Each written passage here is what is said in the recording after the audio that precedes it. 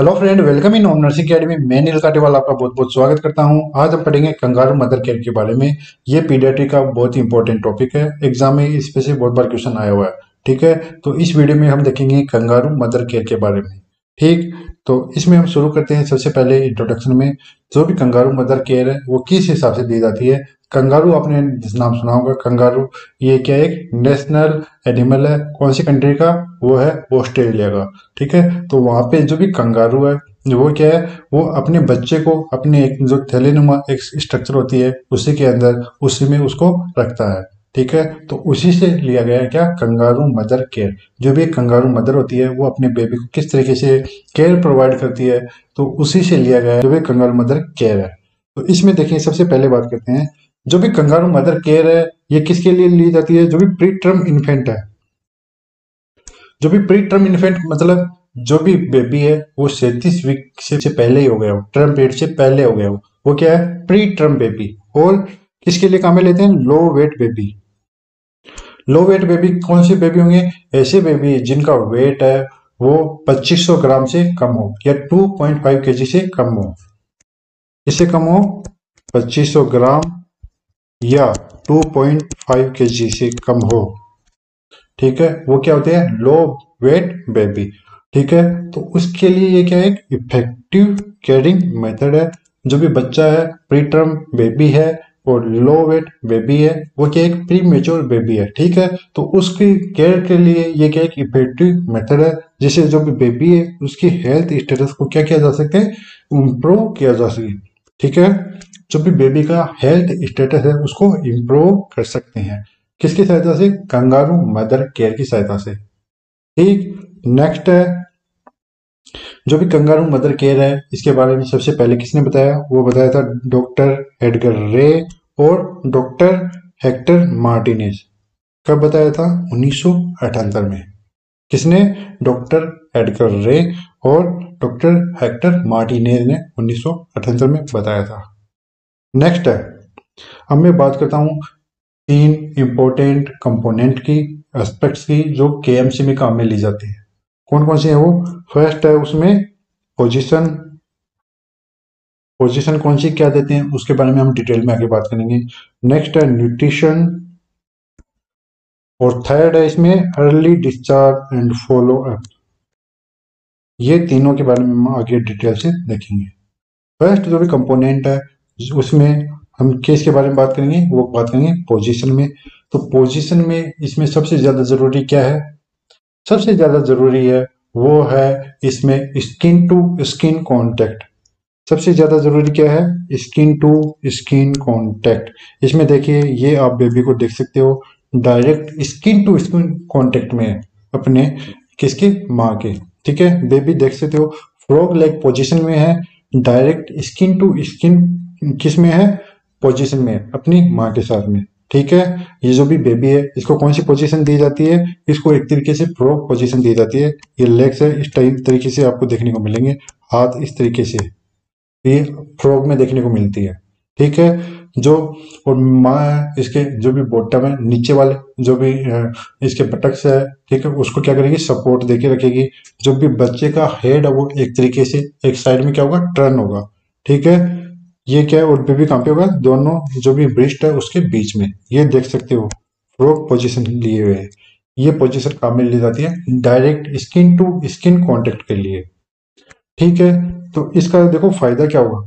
इसमें सबसे बेस्ट फ़ायदा होता है वो है थर्मल कंट्रोल जो भी हीट है उसके लिए। Heat transfer from direct skin to skin contact जो भी माँ के जो भी हीट है, वो बेबी तक जाएगी। जिससे बेबी क्योंकि बेबी में अपने को किससे बचाना है? हाइपोथर्मिया से बचाना है, ठीक है? जो भी बेबी है, उसका टेम्परेचर है, वो थोड़ा इलेवेट करना है टेम्परेचर है, वो बना के रखना है, ठीक है? क्योंकि बच्चों में क्या देखने को मिलता है मोस्टली हाइपोथर्मिया देखने को मिल सकता है। हाइपोथर्मिया क्या है? हाइपोथर्मिया को हम साइलेंट किलर के नाम से भी जानते हैं। किसमें? नियोनेट्स में। नियोनेट्स में अगर आपको पूछ ले कि साइलेंट किलर क्या है तो वो क्या होगा? हाइपोथर्मिया तो उससे बचाने के लिए क्या काम में लेते हैं? हम केएमसी देते हैं। केएमसी का इंपॉर्टेंट कंपोनेंट क्या है? स्किन टू स्किन कॉन्टेक्ट क्यों करते हैं? थर्मल कंट्रोल के लिए। ठीक है? थर्मल कंट्रोल के लिए जिससे जो भी हाइपोथर्मिया है, उसका खतरा है, वो कम हो जाएगा। ठीक है? नेक्स्ट है। अब एग्ज़ाम में ये क्वेश्चन आया हुआ है। Who can give K M C to the baby baby को के एम सी है। कंगारू मदर केयर है, वो कौन दे सकता है? तो मदर तो देगी देगी। फादर भी दे सकता है। ये क्वेश्चन आया था बी एच यू में। बी एच यू की एग्ज़ाम का क्वेश्चन लगा था बी एच यू दो हज़ार अठारह में। तो उसमें ये क्वेश्चन आया था। तो उसमें फादर के बारे में फादर दिया था ऑप्शन में। तो ये फादर है, वो दे सकता है। क्या? कंगारू मदर केयर दे सकता है। फादर के अलावा फैमिली मेंबर है। और जो भी बेबी है, उसके ग्रांड पेरेंट्स है। और जो भी अदर एलिजिबल मेंबर है, ठीक है? जो आपको लगता है कि हाँ ये पर्सन है के दे सकता है, जिसपे आपको विश्वास हो और उसमें किसी तरीके का इन्फेक्शन नहीं हो, स्वस्थ हो तो वो भी क्या है? वो भी कंगारू मदर केयर है, वो बेबी को दे सकता है। ठीक है नेक्स्ट अब सेकेंड कंपोनेंट क्या था? वो था न्यूट्रिशन तो न्यूट्रिशन में सबसे ज़्यादा ज़रूरी क्या है? Exclusive breast feeding exclusive breast feeding मतलब बेबी को रेगुलर क्या देनी है? सिर्फ़ breast feeding only breast feeding करवाना है और रेगुलर करवाते रहना है। ठीक है, जितना ज़्यादा आप ब्रिस्ट फ़ीड करवाओगे, उतना बेबी में का जो भी हेल्थ स्टेटस है वेट गेन है, वो इम्प्रूव होगा। ठीक है तो टाइम रेगुलर जो भी एक्सक्लूसिव ब्रिस्ट फीडिंग का होता है, वैसे तो ज़ीरो से छह महीने, कोई आपको पूछ ले एक्सक्लूसिव ब्रिस्ट फीडिंग है, वो कब तक कब तक चलती है, वो चलेगी zero to six month next है, इसका फ़ायदा क्या है? अगर उसको ब्रिस्ट फ़ीड करवा रहे हो तो उसके बेबी का जो भी न्यू बॉर्न बेबी है वो क्या था प्रीटम था एल बी डब्ल्यू था, उसमें वेट की कमी थी तो बेबी का वेट है, वो भी गेन होगा, उसका हेल्थ स्टेटस है, वो भी इम्प्रूव होगा, और इन्फेक्शन है, उसके चांस भी कम होंगे। रेगुलर ब्रेस्ट फीडिंग से इन्फेक्शन के चांस है वो कैसे कम होगी? अगर मदर रेगुलर ब्रेस्ट फीडिंग करवा रही है तो मदर के मिल्क है उसमें क्या देखने को मिलते हैं? उसमें एक एंटी जो भी इम्यूनोग्लोबिन है, वो देखने को मिलती है। कौन सी? आई जी ए एग्ज़ाम में क्वेश्चन आया हुआ है बहुत बार। ठीक है? तो वो इन्फेक्शन को प्रिवेंट करने में भी हेल्प करती है। ठीक है? तो सबसे ज़्यादा ज़रूरी क्या है? एक्सक्लूसिव ब्रिस्ट फीडिंग है। ये सेकेंड कंपोनेंट था, जो बेबी में वेट बढ़ाने का काम करेगी बेबी में इन्फेक्शन को प्रिवेंट करने का काम करेगी। ठीक है? नेक्स्ट है early discharge and follow up care जो बेबी है, जो मदर है, उसका अर्ली डिस्चार्ज हो जाए हॉस्पिटल से और जो भी बेबी है, उसको प्रॉपर फॉलो अप केयर है, वो मिले, ठीक है? तो अर्ली डिस्चार्ज होगी तो उसमें जो भी, क्या होगा, जो भी बेबी की जनरल हेल्थ है, वो गुड हो नो एविडेंस ऑफ़ इन्फेक्शन हो, ठीक है? और नेक्स्ट है receiving well exclusive breast milk और जो भी आप अर्ली डिस्चार्ज हो, उस टाइम पे आपको ये देखना कि बेबी है, वो अच्छी तरीके से ब्रेस्ट मिल्क ले रहा है और वो एकदम से ठीक हो गया है। तो हम ये उसमें क्या करते हैं? एक्सपेक्ट करते हैं। ठीक है? ये तीन कंपोनेंट थे किसके? कंगारू मदर केयर के। उसमें हमने सबसे पहले बात की पोजीशन पोजीशन में सबसे ज़्यादा ज़रूरी क्या था? Skin to skin contact second हमने बात की न्यूट्रिशन न्यूट्रिशन में सबसे ज़्यादा ज़रूरी क्या है? एक्सक्लूसिव ब्रेस्ट फीडिंग ये सबसे ज़्यादा इंपॉर्टेंट कंपोनेंट है किसके लिए? कंगारू मदर केयर के लिए। नेक्स्ट इसमें हम देखेंगे benefits of K M C जो भी आप कंगारू मदर केयर दे रहे हो, उसके फ़ायदे क्या है? पहले सबसे फ़ायदे, जो भी फ़ायदे हैं बेबी के लिए क्या फ़ायदा है, हम उसके बारे में देखेंगे। तो देखिए thermal control and metabolism so reduce risk of hypothermia सबसे ज़्यादा ज़रूरी क्या है? थर्मल कंट्रोल जो भी टेम्परेचर है, वो मेंटेन हो, उसका मेटाबॉलिज्म बना रहे, जिससे क्या है? हाइपोथर्मिया के चांस है, वो कम हो जाए। रिड्यूस रिस्क ऑफ़ हाइपोथर्मिया ये सबसे ज़्यादा इंपॉर्टेंट है। अगर बेनिफिट पूछ ले तो आपको ये सबसे ज़्यादा बताना है। Next improve duration of breast feeding and facilitate physiological stability in baby तो इसमें ज़रूरी क्या है? ये है ड्यूरेशन ऑफ़ ब्रेस्ट फीडिंग है। अगर किसी बेबी को K M C kangaroo mother care दी जा रही है तो उसका जो भी ब्रेस्ट फीडिंग का जो भी टाइम है ड्यूरेशन है, वो भी बढ़ेगा। इसमें भी इम्प्रूवमेंट वो देखने को मिलेगा। और बेनिफिट में अदर में देखिए इसमें ये क्या कहता है? रिड्यूस अपनिया जो भी अपनिया है, जो भी कुछ शॉर्ट टाइम के लिए, जो भी ब्रीथिंग स्टॉप हो जाती है, वो क्या होती है? अपनिया तो उसको भी रोकने के लिए और ऑक्सीजन रिक्वायरमेंट है और इन्फेक्शन है, उसको ऑक्सीजन रिक्वायरमेंट को कम करने के लिए रिस्क ऑफ़ इन्फेक्शन है इन बेबी में, उसको भी कम करने के लिए जो भी के है, ये ज़रूरी है। ठीक है? इसे के क्या करती है? हेल्प करती है किसमें अपनिया को रोकने के लिए ऑक्सीजन डिमांड को शरीर में कम करने के लिए और बेबी को इन्फेक्शन से रोकने के लिए।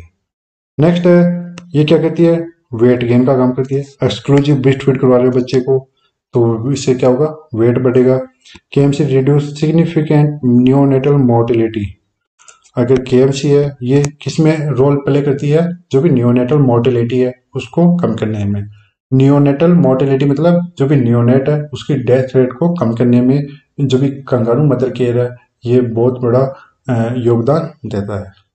ठीक है नेक्स्ट हम बात करते हैं बेनिफिट टू द मदर अभी तो हमने बात की थी कि बच्चे को क्या फ़ायदे होंगे, अब हम बात करते हैं कि जो भी कंगारू मदर केयर है, उसे, कि उस माँ को है, उसको क्या फ़ायदे होंगे। तो केएमसी का जो मोस्ट इंपॉर्टेंट मदर पे इफ़ेक्ट होता है, वो होता है क्या? मदर इन्फेंट बॉन्डेज माँ बेटे के बीच में एक इमोशनल बॉन्ड बनता है, ठीक है? वो उसको इंप्रूव करता है। क्या? K M C kangaroo mother care ठीक है? नेक्स्ट अब एलिजिबल क्राइटेरिया केएमसी का वो क्या होगा? क्राइटेरिया फॉर बेबी बेबी के लिए क्या क्राइटेरिया होगा? सभी तरह की stable L B LBW baby है। हम उसको क्या दे सकते हैं? कंगारू मदर केयर दे सकते हैं। जिनका वेट 2000 से कम हो, वो क्या है? एलिजिबल है कंगारू मदर केयर के लिए। सभी स्टेबल न्यू बोर्न है, हम उसको कंगारू मदर केयर दे सकते हैं। और ये कंगारू मदर केयर कब देनी चाहिए? कोई पूछ ले आपको कंगारू मदर केयर कब देनी चाहिए। तो बेबी के जन्म के जस्ट बाद में आप क्या दोगे? कंगारू मदर केयर दोगे। ये लाइन बहुत ज़्यादा इंपॉर्टेंट है। कोई आपको पूछ रहे कंगारू मदर केयर कब देनी चाहिए तो जन्म के तुरंत बाद ही आप कंगारू मदर केयर वो शुरू कर सकते हो। जितना जल्दी हो सके, उतना जल्दी आप कंगारू मदर केयर वो दे सकते हो। ठीक? Next if baby on IV therapy tube feeding और ऑक्सीजन थेरेपी तो उसमें भी कंगारू मदर केयर वो दी जा सकती है। ठीक है? ये था क्राइटेरिया किसके लिए? बेबी के लिए। कि कौन से बेबी इलिजिबल है कंगारू मदर केयर के लिए उसमें? ठीक है? नेक्स्ट क्राइटेरिया फॉर मदर इसमें बस सबसे ज़्यादा मदर के लिए तो ये है कि मदर की क्या होनी चाहिए? विलिंग होनी चाहिए। एक इच्छा होनी चाहिए। ठीक है? विलिंग कि वो अपने बच्चे को अपने अपने आप से उसको कंगारू मदर केयर वो देने की सोचे, उसके साथ स्किन टू स्किन कांटेक्ट में रखे और उसको रेगुलर ब्रिस्ट फ़ीड करवाए ये क्या है? मदर के लिए क्राइटेरिया है कंगारू मदर केयर का। ठीक है? इससे हेल्प मिलेगी बच्चे को इन्फेक्शन से और जो भी हाइजीन है उसको बनाए रखने में। ठीक है? ये क्या है? एलिजिबल क्राइटेरिया ऑफ़ केएमसी और केएमसी सभी दे सकते हैं। माँ भी दे सकती है, पिता भी दे सकते हैं, दादा, दादी, नाना, नानी कोई दे सकता है, बस वो इन्फेक्शन से रहित होने चाहिए, खुद भी स्वस्थ होने चाहिए। नेक्स्ट नेक्स्ट इसमें देखिए प्रोसीजर ऑफ़ के जो भी कंगारू मदर केयर है, आप किस तरीके से दोगे, उसका प्रोसीजर क्या होगा, उसके बारे में। तो इसमें देखिए, कंगारू पोजीशन जो भी कंगारू पोजीशन है, इसमें हम किस तरीके से देंगे बेबी है, वो दोनों ब्रिस्ट के बीच में होगा यहाँ पे। ठीक है? अब राइट पोजिशन में होगा और बेबी का जो भी हेड है, वो थोड़ा इस तरीके से मुड़ा होगा। ठीक है? एक साइड में ऐसे टर्न होगा। ठीक है? नेक्स्ट देखिए इसमें, जो भी बेबी है, अगर फेस है, उसका ऊपर की तरफ़ होगा ऐसे।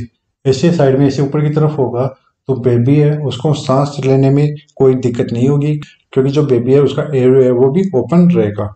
और मदर और बेबी के बीच में आई टू आई कांटेक्ट है, वो भी बना रहेगा। ठीक है? नेक्स्ट मैंने बताया था अभी बेबी को कौन सी पोजीशन देंगे स्किन टू स्किन कांटेक्ट में? तो पह, सबसे पहले बेबी कहाँ पे होगा? बेबी यहाँ पे होगा अपराइट पोजीशन में होगा ठीक है? और बेबी है उसका फेस है इसे एक साइड में टर्न होगा ठीक है? और बेबी है उसके जो भी आर्म है लेग्स है वो क्या होंगे? फ्लेक्स होंगे अपडेक्ट होंगे। ठीक है? तो ये कौन सी पोजीशन होती है? ये होती है फ्रोक पोजीशन केएमसी में देते हैं बेबी को। ठीक है? मतलब बेबी कहाँ पे होगा? दोनों निपल्स के बीच में होगा अपराइट पोजिशन में होगा फेस ऐसे साइड में टर्न होगा, ऊपर की तरफ़ होगा, और जो भी उसके बेबी के आर्म और लेग्स है, वो क्या होंगे? फ्लेक्स्ड होंगे और एबडक्ट होंगे। ये एक तरीके की फ्रॉक पोजिशन है। ठीक है? नेक्स्ट मदर की ब्रीथिंग है, वो बेबी को स्टिमुलेट करती है। मदर की ब्रीथिंग क्या होगा? बेबी को स्टिमुलेट करेगी, जिससे बेबी में एपनिया होने के चांस है, वो भी कम हो जाएँगे। ठीक है नेक्स्ट है, और जो भी बेबी है, उसको बॉटम को स्लिंग बाइंडर से सपोर्ट लगाए। बेबी के बॉटम को किससे? स्लिंग बाइंडर आता है, एक बाइंडर आता है स्लिंग का, उससे क्या करना है? सपोर्ट लगा के रखना है, या फिर बेबी को नीचे से सपोर्ट से इसे हाथ से रखना पड़ेगा। ठीक है, ये थी कंगारू पोजिशनिंग नेक्स्ट है मॉनिटरिंग मॉनिटरिंग में क्या है? केएमसी की शुरुआत में स्टेज में एयरवे ब्रीथिंग और कलर टेम्परेचर को मॉनिटर करें।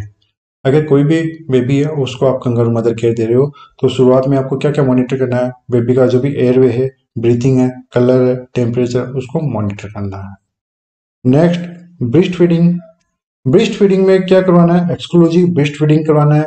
कि किस तरीके से बेबी को ब्रिस्ट फ़ीड करवाए। तो जब भी ब्रिस्ट फीडिंग करवाना है, उस टाइम पे बेबी को आपको थोड़ा बेबी का जो भी सर है, उसको थोड़ा हल्का सा उठा के रखना है और बेबी को थोड़ा सा पुष्ट करना है कि इधर की तरह ब्रिस्ट की टाइप है क्योंकि वो बेबी है, वो डिपल को अच्छी तरीके से क्या कर ले कवर कर ले। ठीक है? तो माँ को आपको समझाना है कि किस तरीके से ब्रिस्ट फ़ीड करवाना है। नेक्स्ट है duration of K M C exam में इसे क्वेश्चन आया हुआ है ड्यूरेशन ऑफ़ के तो इसमें देखिए जो भी ड्यूरेशन है, उसके अकॉर्डिंग में अगर आपको ये बोले कि केएमसी कितने टाइम तक दे सकते हो? मैक्सिमम तो मैक्सिमम आप के है, वो आप चौबीस घंटे भी दे सकते हो। रेगुलर चौबीस घंटे भी दे सकते हो। बीच बीच में ये है कि बेबी को अगर डायपर चेंज करवाना पड़ा या कुछ भी बेबी ने एक्सक्रिएट किया है तो उसको साफ़ करना। है तब आप बेबी को थोड़ा अलग कर सकते हो। बाकी के टाइम में बेबी को आपको क्या देना है? कंगारू मदर केयर वो देनी है। और कम से कम छह से आठ घंटे का पीरियड तो होना ही चाहिए। कम से कम कितनी प्रैक्टिस हो? छह से आठ घंटे की। कम से कम छह घंटे। ठीक है? Next from hospital to home अब हॉस्पिटल से डिस्चार्ज कर रहे हो। ठीक है? बेबी को क्या कर रहे हो? आप डिस्चार्ज कर रहे हो। माँ को डिस्चार्ज कर रहे हो। तो उसको हॉस्पिटल से घर ले जाओगे। उसके लिए क्या क्राइटेरिया होने चाहिए? ठीक है? तो बेबी की जो भी जनरल हेल्थ है, वो ठीक हो, उसमें किसी तरीके का इन्फेक्शन नहीं होना चाहिए। तब बेबी को हम डिस्चार्ज करेंगे, उसको हॉस्पिटल से घर ले जाने के लिए बोलेंगे। बेबी अच्छे तरीके से जो भी ब्रेस्ट मिल्क है, वो ले रहा हो। ठीक है? टाइम टू टाइम रेगुलर उसकी क्या हो रही हो? एक्सक्लूसिव ब्रेस्ट फीडिंग हो रही हो। बेबी में वेट है, वो भी बढ़ रहा हो। बेबी वेट है, वो गेन कर रहा है। कितना? पंद्रह से बीस ग्राम पर के पर डे ठीक है? और लगभग ये आपको लगातार जो भी तीन दिन का पीरियड है, उसमें देखना है। नेक्स्ट जो भी बेबी है, उसके अंदर बॉडी टेम्परेचर है, वो भी सेटिस्फाई लेवल पे क्या है? मेंटेन है। और ये भी आपको लगभग तीन दिन तक रूम टेम्परेचर पे लेके देखना है। ठीक है? ये नहीं कि रेडियंट वार्मर पे देखना नहीं, उसको रूम टेम्परेचर पे लेके आना है। उस पर आपको तीन दिन तक देखना कि बेबी वहाँ पे जो भी अपने टेम्परेचर है, उसको मेंटेन करके रख रहा है कि नहीं रख रहा। अगर वो रख रहा है तो आप उसको डिस्चार्ज कर सकते हो। नेक्स्ट जो भी आपको मदर है फैमिली मेंबर है, उनको कॉन्फिडेंट करना है, उनको केएमसी के बारे में बताना है, उनके अंदर विलिंग जगानी है। किसके बारे में? केएमसी के बारे में। और उनको बोलना है कि जो भी बच्चे को के देने के बाद में, आपको थोड़े टाइम के बाद में आपको वापस से विज़िट करना है, जो भी हेल्थ केयर फैसिलिटीज़ है उसमें। ठीक? नेक्स्ट है, वह शुड के एम सी बी कंटिन्यूटेड जो भी के एम सी है कंगारू मदर केयर है, उसको हम कब डिसकंटिन्यू कर दें, कब रोकें? जब बेबी का वेट है, वो डिजायरेबल हो जाए। नेक्स्ट अगर के आप उस दौरान रोक सकते हो, जब बेबी है, वो बहुत ज़्यादा अनकंफर्टेबल है, वो महसूस कर रहा हो, ठीक है? उस टाइम पे आप रोक सकते हो। जैसे एक्सट्रीमिटीज को बाहर की तरफ़ खींच रहा हो बार बार रो रहा हो ज़ोर ज़ोर से रो रहा हो, उस टाइम से के है, उसको क्या कर सकते हो आप? डिसकंटिन्यू कर सकते हो।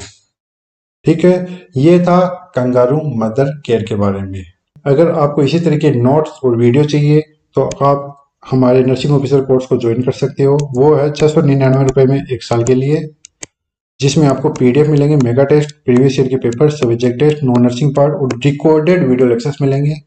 सीएचओ एग्ज़ाम का कोर्स है, वो भी अवेलेबल है, वो है तीन सौ निन्यानवे रुपये में एक साल के लिए।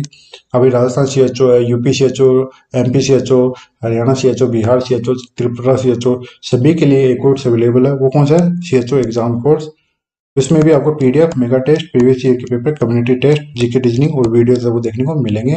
और ये कोर्स की वैलिडिटी रहेगी एक साल तक के लिए। आपको क्या करना है? आपको जाके हमारी एप्लीकेशन डाउनलोड करनी है। हमारी एप्लीकेशन का नाम है Om nursing academy play store से डाउनलोड कर सकते हो। इस पर रजिस्टर कीजिए, हमारे कोर्स को ज्वाइन कीजिए और अपनी तैयारी है, उसको कंटिन्यू रखिए। ठीक है? फ़िलहाल के लिए इतना ही। ओम नर्सिंग अकेडमी के साथ जुड़ने के लिए आप सभी का बहुत बहुत धन्यवाद।